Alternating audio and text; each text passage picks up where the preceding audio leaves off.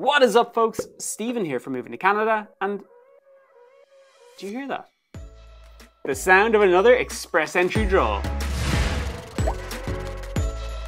Now, we'll get into the draw numbers in just a second, but firstly, it's time to make your offering to the subscription gods, which are definitely a real thing, by clicking that little subscribe button and smashing that thumbs up to show us you're a real friend. Friend! Friend! And Friends tell friends the draw numbers, so let's get into it. Oh, before we get to the draw numbers, we need to thank the sponsor of today's video, Canada Abroad.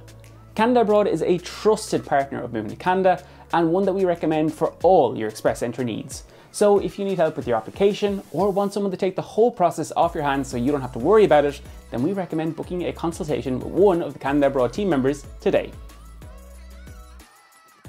Today's Express Entry draw for Immigration to Canada considered candidates in all Express Entry programs. In the latest Express Entry draw for Immigration to Canada in 2023, 7,000 candidates were issued an invitation to apply. The comprehensive ranking system score cutoff threshold for this draw was 481 points. Please note it can take up to 24 hours for an ITA to appear in your IRCC account. Hopefully, all you folks who are getting your ITA have all your documents in order.